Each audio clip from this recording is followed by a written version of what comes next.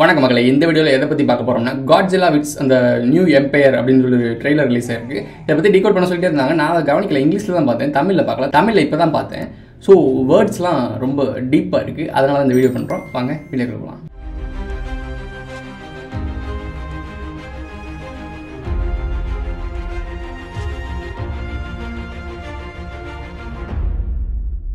மனித நாகரிகத்தோட பெரும்பாலான நேரம் பூமியோட மேற்புறத்துல மட்டும்தான் உயிர்கள் இருக்க முடியும்னு நாம எல்லாருமே நம்பிக்கிட்டு இருந்தோம். மேட்ரா கேட்டிங்களா? மனித நாகரிகங்கள் உயிரினங்கள்லாம் மேலே தான் வாழ்ந்துட்டு இருக்கு அதாவது சர்ஃபேஸில் பூமியில் மேலே தான் வாழ்ந்துட்டு இருக்காங்க. அண்டர் கிரவுண்டில் பற்றி நம்ம யோசிச்சதே இல்லை அப்படின்னு. நாங்கள் அண்டர் கிரவுண்ட் பாதாள உலகத்தை பற்றி பேசிகிட்டு தான் இருக்கோம். பட் சாதாரண மக்களுக்கு யோசிச்சதே இல்லை. ஆனால் நம்ம நினச்சி பார்க்காத அளவுக்கு கீழே உயிரினங்கள் வாழ்ந்துக்கிட்டு தான் இருக்குது அதுதான் சொல்கிறாங்க யார் வருவா தெரியுமா? முசுகுந்தன் வெளியே வருவாப்புல. காட்ஸில்லா நாகர்கள் வெளியே வருவாங்க. இதாங்க கதையே. காட்டுற இடம் எங்கன்னு தெரியுதா? எகிப்த். எகிப்து நாகரிகம். கையில் வரதை பார்த்தீங்களா? முசுகுந்த சக்கரவர்த்தி டெக்னாலஜி அங்கேருந்து கொண்டு வந்தார். முசுகுந்த சக்கரவர்த்தி நீங்கள் படித்து பார்த்தீங்கன்னா அவர் குரங்கு மாதிரி இருப்பார்னு டெக்னாலஜி கொண்டு வந்தார். அவர் கையை பாருங்கள் ரைட் கையை பாருங்கள் நான் ஒரு சொல்லியிருக்கேன். Left brain right organs right brain left organs நம்மளுக்கு தெரியும்னு நினைக்கிறேன். சரி இன்னும் தெளிவாக சொல்லிக்கிறேன். ரைட் பிரைன் வந்து நம்ம முன்னோர்கள் ஆற்றல் லெஃப்ட் பிரெயின் வந்து அவங்க எதிரிகளோட ஆற்றல். ஸோ இது கனெக்ட் பண்ணுற இந்த கை தான் அங்கே டெக்னாலஜி மாட்டியிருக்கு. புரிஞ்சிருக்குன்னு நினைக்கிறேன். இன்னும் நமக்கு தெரியாதது என்னெல்லாம் இருக்கோ? நம்ம கற்பனைக்கு எட்டாத அளவுக்கு இந்த உலகத்துல எவ்வளவோ ரகசியங்கள் இருக்கு.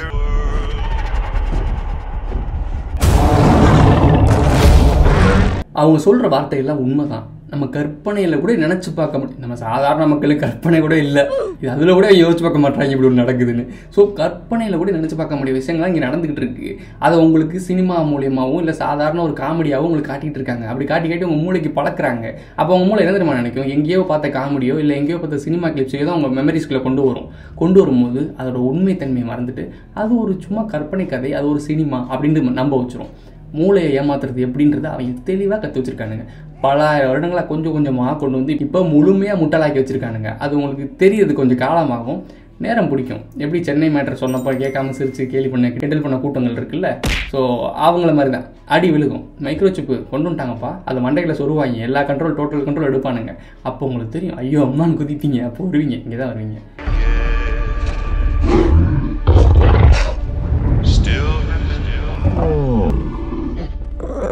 காங்கோட குட்டி மாதிரி காட்டுறாங்க. அதாவது அவங்க இனங்கள் இன்னும் அழியல மொத்தமாக இருக்குது அப்படின்ற மாதிரி காட்டுறாங்க. ஸோ என்ன மிருகயா இது? அது காங் இல்ல. அந்த கைரேகையை பார்த்து இது காங் கிடையாது அப்படின்னு சொல்கிறாங்க அப்போ காங் கிடையாதுன்னா இவ்வளோ பெரிய கைரேகை யார் வச்சிருப்பா? காங்கோட சொந்தக்காரங்க அங்காளி பெங்காளி தான். அதாவது ரெண்டு கூட்டங்க இது நாகர்கள்னு சொல்லக்கூடிய கூட்டங்கள்லையும் ஆள் இருக்காங்க பிரிஞ்சிருக்காங்க. அவங்க கு- உருவாக்குன கூட்டங்கள் இருக்குல்ல அதாவது ஆதியில் உருவாக்கப்பட்ட இனங்கள் இருக்குல்ல. அந்த இனங்கள்லேயும் பிரிவினை நிறையா இருக்குது ஒன்றுக்கு ஒன்று சண்டை போட்டுட்டு தெரியுது அதிகாரத்துக்காக. அதை காட்டுறது தான் நான் அந்த முசுகுந்த சக்கரவர்த்தின்னு சொல்லக்கூடிய அந்த காங் இருக்குல்ல காங் மாதிரியே இன்னொன்று ரிஃப்ளெக்ட் இருக்கும். அதுக்கு இதுக்கும் சண்டை நடக்கிற மாதிரி காட்டுவாங்க. அந்த பாதாளத்தில் இருக்கக்கூடிய அந்த சிட்டியை காட்டுவாங்க பாருங்க. இது யாரோட வேலையா இருக்கும்? அவங்களோட ஏரியா தான் அந்த மாதிரி. அவங்க வாழ்கிற இடம். எரிமலை குழம்புக்குள்ளே வாழ்ந்துட்டு இருக்காங்க. பாதாளத்துக்குள்ளே. இங்கே அடுத்து அந்த காட்டும் போது கண்களை பாருங்கள் கண்கள் ரொம்ப முக்கியம். கண்கள் தான் ரகசியம் கடத்தப்படுது. ஒரு புதிய சாம்ராஜ்யத்தின் எதிரியை காட்டிட்டாங்க. ஓகேவா அவங்களுக்கு புரிஞ்சிருக்கும்னு நினைக்கிறேன். இங்கே ஓடுறது காங்கு துரத்துறது டைனோசர் அப்புறம் ரெண்டு பேரும் சேர்ந்து பண்ணுவாங்க. அதாவது காட்ஸிலாவும் காங்கும் சேர்ந்து சண்டை போடுவாங்க. நாகர்களும் முசுகுந்த சக்கரவர்த்தி எல்லாம் இணைஞ்சு மனிதர்களாக நம்மளை தாக்குவாங்க. பாருங்க. ஒரு புதிய சாம்ராஜ்யத்தின் எழுச்சியை காணுங்கள்.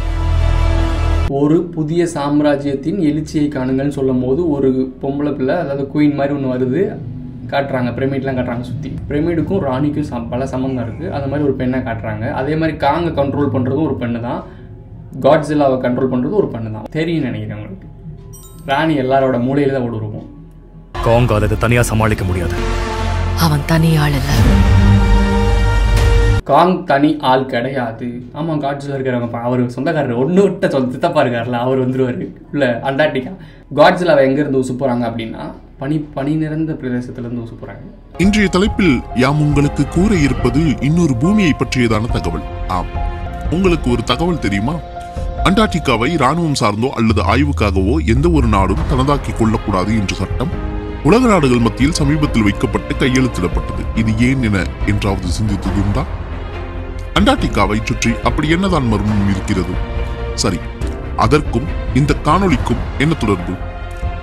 அதற்கு இரண்டாம் உலகப் போருக்கு முன்னும் பின்னும் நடந்த சில நிகழ்வுகளை பற்றி அறிந்து கொள்ள வேண்டும். ஆம். அதற்கு கேஜிபி உளவு நிறுவனத்திடம் உலகப் போருக்கு பின் நாஜிக்களின் சில கோப்புகள் சிக்கின. நாஜிக்கள் அந்த கோப்புகளுக்கு ஓரியன் என்ற பெயரை வைத்திருந்தனர். ஓரியன் என்ற பெயரை வைத்திருந்தனர்.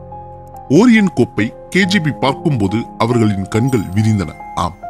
அந்த கோப்பு முழுவதும் வரைபடங்கள். அதுவும் அண்டார்டிகாவை சுற்றிய வரைபடங்களாக இருந்தன. இதில் என்ன ஆச்சரியம் என்று நீங்கள் நினைக்கலாம். ஆனால் அண்டார்டிகாவை சுற்றி உண்மையில் அப்படி ஒரு நிலப்பகுதிகள் இல்லை. அதோடு அங்கு எழுதி குறிக்கப்பட்ட பெயர்கள் அவர்களுக்கு பெரும் ஆச்சரியத்தை அளித்தது. ஆம். பூமியின் அரைக்குளத்தில் அண்டார்டிகாவின் அருகில் ஒரு இடம் இருக்கிறது. அதை கோஆர்டினேட்டாக ஓரியன் கோப்பில் குறிக்கப்பட்டுள்ளது. அதுதான் அந்த நிலப்பகுதிக்கு செல்லும் வழியாக குறிக்கப்பட்டிருந்தது. அந்த கோஆர்டினேட்டை காணொளியின் இறுதியில் தருகிறோம். சரி அந்த வரைபடத்தில் என்னவெல்லாம் இருந்தது? முதல் வரைபடத்தில் அஸ்கார்டு என்ற பெயருடன் பாரிய நிலப்பகுதி ஒன்றையும் குறிப்பிட்டிருந்தது. அதைச் சுற்றி சில கடல்களின் பெயர்களும் சில இடங்களின் பெயர்களும் குறிக்கப்பட்டிருந்தது. அதில் முக்கியமாக நியூ பெர்லின் என்ற இடமும் இருந்தது. அப்படியே அஸ்கார்டின் வலதுபுறத்தில் உள்ள நிலப்பகுதிக்கு லைபீரியா என்ற பெயரும் இடப்பட்டிருந்தது. அதன் அருகே கீழே ஃபெராத் தீவுகள் என்ற சில தீவுகளுக்கு பெயரிடப்பட்டிருந்தது அதன் கீழே ஷம்பலா என்ற பெயரும் குறிக்கப்பட்டிருந்தது திபெத்திய துறவிகளின் நம்பிக்கையின்படி ஷாம்பலா என்பது தெய்வங்களின் நகரமாக கருதப்படுகிறது. ஆம் அப்படி ஒரு நகரம் இருப்பதாக இன்னும் அவர்கள் நம்புகிறார்கள். ஆனால் அது சூட்சும கண்களில் இருந்து மறைக்கப்பட்டு இருக்கிறது என்பதாக அவர்களின் நம்பிக்கை. ஆனால் பூமியின் மேற்பரப்பில் நீங்கள் எங்கு தேடி பார்த்தாலும் அப்படி ஒரு நகரத்தை பற்றியோ அல்லது யாம் விவரித்த கண்டத்தை பற்றியோ எங்குமே இருக்காது. ஆம். ஷம்பலா பற்றிய ஒரு கூடுதல் தகவல்கள். அரச குடும்பங்கள் இவற்றை மறைமுகமாக திரைப்படங்களின் வாயிலாக வெளிப்படுத்தவும் செய்திருக்கிறார்கள். ஆம். உதாரணமாக ஆஸ்காட் பற்றி மார்வல் படங்களில் காட்டப்பட்டிருக்கும். அங்கு உள்ளவர்களை கடவுளை போன்று சித்தரித்து கதையம்சம் எழுதப்பட்டிருக்கும். அதோடு ஷாம்பாலா இந்த பெயரை கவனமாக பார்ப்போம். நீங்கள் டாக்டர் ஸ்ட்ரேஞ்ச் படத்தை பார்த்திருந்தால் புரியும். இந்த சொல் அந்த படத்தில் சாதாரணமாக தோன்றியது போல் தோற்றமளிக்கலாம். ஆனால் அது உண்மையல்ல. படத்தில் கமர்தாஜில் உள்ள வைஃபையின் கடவுச்சொல் ஷாம்பலா என்று குறிக்கப்பட்டிருக்கும். இது ஒரு தற்செயலான வார்த்தையாக தோன்றியிருக்கலாம். ஆனால் அது உண்மையில் மிகவும் ஆழமான பொருளை கொண்டுள்ளது. மற்றும் இந்து மத புராணங்களின் நம்பிக்கையின் அடிப்படையிலும் திபெத்திய துறவிகளின் நம்பிக்கையின் அடிப்படையிலும் இந்த பெயரானது மிகவும் முக்கியத்துவம் வாய்ந்தது. இந்து மத நூல்களின் அடிப்படையில் கல்கி தான் இறுதி அவதாரம். ஷாம்பலா என்பது கல்கியின் பிறப்பிடம். கமர்தாஜின் மற்றொரு பெயராகத்தான் ஷாம்பலாவை குறிப்பிடுகிறார்கள். கல்கி என்பது காலத்தை குறிக்கும் சொல் அதாவது காலத்தை கட்டுப்படுத்துவது. மார்வல் படத்தில் டாக்டர் ஸ்ட்ரேஞ்ச் கதாபாத்திரமும் காலத்தை கட்டுப்படுத்தும். கமர்தாஜ் ஒரு புதிய அவதாரத்தை பெற்றெடுக்கிறது. அதுதான் டாக்டர் ஸ்ட்ரேஞ்ச். அதாவது மாய பிரபஞ்சத்திற்கு ஒரு புதிய நம்பிக்கைக்கு எதிராக அந்த கதாபாத்திரம் இருக்கும். இதெல்லாம் தற்செயலாகவோ அல்லது கற்பனையாகவோ இவற்றை காட்சிப்படுத்தவில்லை. மாறாக அனைத்திலும் ஒரு குறியீடுகள் உள்ளது. இதில் காலச்சக்ரா பற்றி வரும். ஐ ஆஃப் அகமோட்டாவை பயன்படுத்தி உருவாக்கப்பட்ட ஒரு எல்லையற்ற நேர சுழற்சி பற்றி படத்தில் வரும். இதேபோல் இந்துக்களும் பௌத்தர்களும் காலச்சக்கரா என்ற நம்பிக்கையின் அடிப்படையில் காலச்சக்கரம் இருப்பதை நம்புகிறார்கள். ஆம். காலச்சக்கரா காலத்தை பின்னோக்கி முன்னும் பின்னும் திருப்பி பல்வேறு வழிகளில் கையாளும் ஆற்றல் பெற்றிருந்தது. படத்தில் அதை தொடர்புபடுத்தும் காட்சிகளும் பல உள்ளது.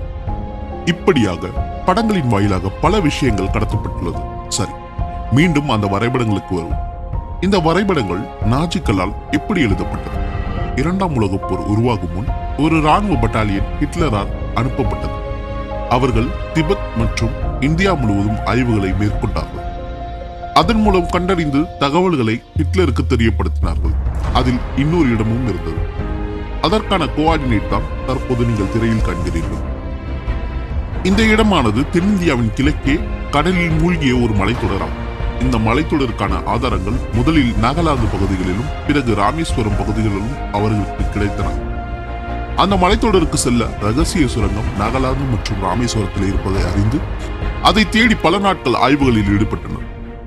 ஆனால் அவர்களுக்கு ஏமாற்றமே மிஞ்சியது. கடைசி வரை அவர்களுக்கு எந்த சுரங்க நுழைவாயிலும் கிடைக்கவில்லை என்று குறிப்பிட்டு அந்த ஆய்வறிக்கையை ஹிட்லரிடம் சமர்ப்பிக்கப்பட்டது.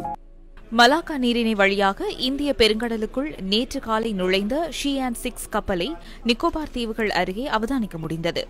இலங்கை நோக்கி நேற்று பகல் வந்த கப்பல் நேற்று மாலை வங்காள விரிகுடாவை நோக்கி திரும்பி நிக்கோபார் தீவுகளுக்கு உரிமம் கோருகின்ற இந்தியாவுக்கு சொந்தமான பிரத்யேக பொருளாதார மண்டலத்தின் கடல் எல்லையை அண்மித்து தமது பயணத்தை மெதுவாக முன்னெடுத்தது.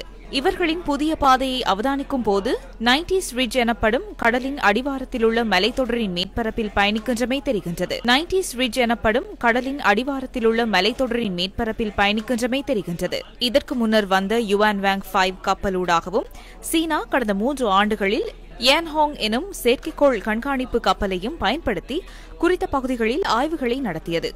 இதனிடையே கடந்த இரண்டு தசாப்தங்களில் இந்தியாவும் அமெரிக்காவும் கடலுக்குள்ளுள்ள மலைகளை பற்றி பல ஆய்வுகளை மேற்கொண்டமை குறிப்பிடத்தக்கதாகும். இதனிடையே கடந்த இரண்டு தசாப்தங்களில் இந்தியாவும் அமெரிக்காவும் கடலுக்குள்ளுள்ள மலைகளை பற்றி பல ஆய்வுகளை மேற்கொண்டமை குறிப்பிடத்தக்கதாகும். கடலுக்குள்ளுள்ள மலைகளை பற்றி பல ஆய்வுகளை மேற்கொண்டமை குறிப்பிடத்தக்கதாகும். ஹிட்லர் அதனை அதோடு விடவில்லை.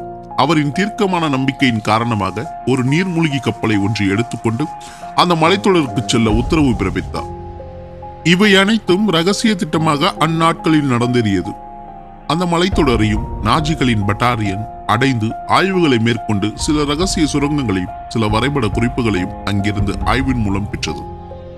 அந்த சுரங்கத்தின் வாயிலாக போக முடியாத சூழல் இருப்பதால் நேரடியாக அந்த வரைபடம் குறித்த இடத்தை தேர்ந்தெடுத்து ஆய்வுகளை மேற்கொள்ளலாம் என்று முடிவுக்கு வந்தது. அதன் இறுதி பயணம்தான் அண்டார்டிகா நோக்கி நகர்ந்தது. இன்னொரு நவீன அறிவியலாளர்கள் குழுவும் அந்த அண்டார்டிகா பகுதியை வந்தடைந்தது. இதுவரை பெறப்பட்ட தகவல்களின் அடிப்படையில் அந்த அண்டார்டிகாவில் ராணுவ முகாம் அமைத்து அறிவியல் ஆராய்ச்சிகளை மேற்கொண்டனர். அங்குதான் ஹிட்லரின் நவீன உலகப்போர் ஆயுதங்கள் கண்டறியப்பட்டன. இவை அனைத்திற்கும் அந்த ஆய்வுகளில் பெறப்பட்ட தகவல்களே காரணம். இன்னும் கூடுதல் அறிவை பெற குறிப்பிட்ட அந்த நிலத்தை அடைய வேண்டும் என்று பல ஆய்வுகள் நிகழ்த்தியது. இறுதியாக அந்த இடத்தை அடையும் வாயிலையும் கண்டறிந்தது அந்த குழு. ஆம். அதற்கான கோஆர்டினேட் தான் தற்போது நீங்கள் திரையில் காண்கிறீர்கள். இந்த இடத்தில்தான் கடலுக்கடியில் நுழைவாயிலை கண்டுபிடித்தார்கள் அந்த ஆய்வுக்குழு. ஆம். அதுதான் இன்னொரு உலகிற்கான நுழைவாயிலாகும். அவர்கள் அதன் பிறகு என்ன ஆனார்கள் என்ற விபரம் அந்த ஓரியன் குப்புகளில் இல்லை. சரி இன்னொரு சமீபத்திய சம்பவம் ஒன்று உள்ளது. சமீபத்தில் ரஷ்யாவின் பால்டிக் கடற்படையின் அட்மிரல் விளாடிமிர்ஸ்கி அண்டார்டிகாவின் நீர்மண்டலங்களை ஆய்வு செய்ய அனுப்பப்பட்டிருந்தது. அது அதன் நீர்மண்டலங்களை ஹைட்ரோகிராபிக் மூலம் ஆய்வு செய்தது. இந்த கோஆர்டினேட்ஸ் உள்ள இடத்தை தான் தற்போது அது குறிப்பிட்ட ஆய்வு செய்தது. அமெரிக்கா மற்றும் ரஷ்யா இரு நாடுகளுக்கும் இந்த இடத்தை பற்றியும் அதன் அமைப்பை பற்றியும் பல ஆண்டுகளாக ரகசிய ஆய்வை மேற்கொண்டு வருகிறது. அந்த கோப்புகளின் குறிப்புகளை வைத்து கிட்டத்தட்ட கடலுக்கடியில் இருக்கும் நிலத்தடி நுழைவாயிலையும் அதோடு அதை சுற்றி அமைக்கப்பட்டிருந்த முன்னாள் நாஜி ராணுவ தளங்களும் கண்டறியப்பட்டுள்ளது. சரி இப்போது இதை பற்றி நீங்கள் ஏன் அறிந்து கொள்ள வேண்டும்? நாகர்கள் நீண்ட காலம் வாழ்ந்தது அந்த மலைத்தொடரில்தான் அதுதான் அவர்களின் நாகலோகமாக இருந்தது. அதற்கு பிறகு அவர்களுக்கு ஓர் இணை உலகம் கொடுக்கப்பட்டது என்று யாம் கூறியிருந்தோம் அல்லவா? அங்கு சென்று அவர்கள் வசிக்கத் தொடங்கினார்கள். அந்த இணை உலகத்தின் நுழைவாயில்தான் நாஜிக்களால் அண்டார்டிகாவில் கண்டறியப்பட்ட ஒன்று. மீதமிருந்த பெரும்பான்மையான நாகர்கள் அங்குதான் வசிக்கிறார்கள்.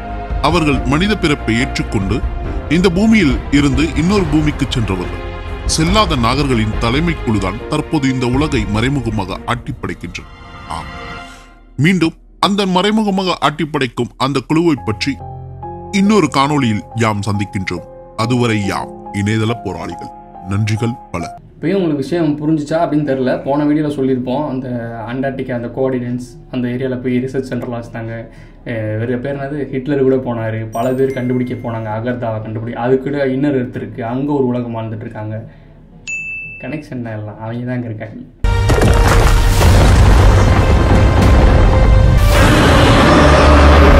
இங்கே என்ன ஒரு விஷயம்னா இவங்க ரெண்டு பேருக்குள்ள அதிகார சண்டை நடக்கும். அதுவே தேவையில்லாத விஷயம் தான் ஆனால் அதுக்குள்ளே நடக்கும். ஆனால் இங்கே சாதாரண மக்கள் அவங்க தரப்புல ஆட்களும் சாகுறாங்க நம்ம தரப்பு ஆட்களும் சாகுறாங்க.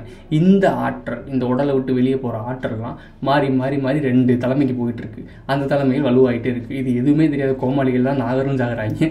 நாமளும் செத்துக்கிட்டு இருக்கோம். இங்கே ராணியே முட்டாள். இதான் முக்கியம். இங்கே ராணியே முட்டாள். இதான் முக்கியம். ராணி முட்டாள் தான் நாகர்கள் முட்டாள் தான்.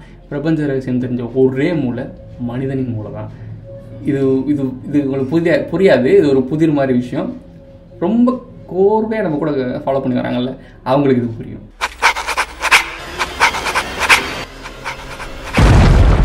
அப்போதே சொன்னதுதான் ரெண்டு பேர் சேர்ந்துருவாங்க. சேர்ந்து வருவாங்க நம்மளை தாக்குறதுக்கு. ஒரு சில கூட்டங்கள் சில்லறைகள் நம்மள்கிட்ட சண்டைக்கு வரும்போதே இலங்கையில் என்ன ஆச்சுன்னு உங்களுக்கு தெரியும்னு நினைக்கிறேன். அவங்க நேரடியாக வருவாங்க. இந்த மூன்றாம் உலக போரில் நேரடியாக வருவாங்க.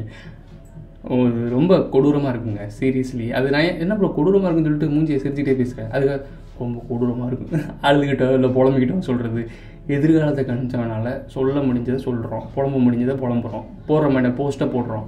ஏற்றுக்கிறதும் ஏற்றுக்காதும் உங்கள் கையில் தான் இருக்குது இந்த டைமில் நடந்துக்கிட்டே தாங்க இருப்போம். நாங்களே சொல்லிக்கிட்டே தாங்க இருப்போம். ஏற்றுக்கிறேன் வா. ஏற்றுக்காதே ஒரு ஓரமாக உட்காந்து வேடிக்கை பாருங்க அவ்வளோதான்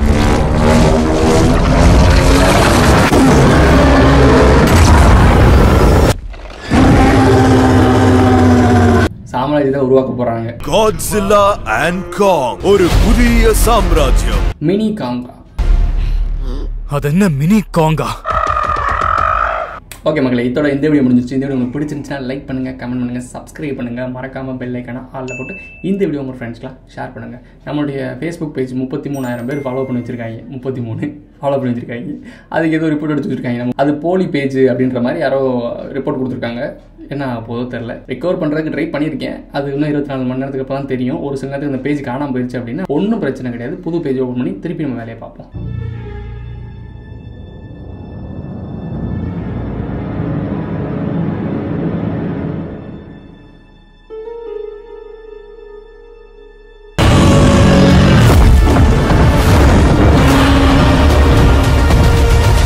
பகை நான் விட்டு வச்ச பகை எங்கேயோ எப்படியோ நிம்மதியா வாழ்ந்துட்டு அந்த சின்ன பேராசையில நான் விலகி வந்த பகை அந்த பகை எவ்வளவு யுகம் ஆனாலும் தொடுத்துட்டே இருக்கும். அதை மொத்தமா முழுசா முடிச்சிடணும்.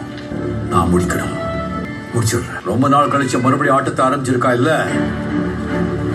பதிலுக்கு நம்ம ஆட்டத்தை காட்ட வேண்டாம் இத்தனை நாள் இருந்த மாதிரி ஒதுங்கி இருந்துருவோமே. நாம இத்தனை நாள் ஒதுங்கி இல்ல. பாயறதுக்கு நேரம் பார்த்து பதுங்கி இருந்தோம் இதான் நேரம். இந்த பேட்டை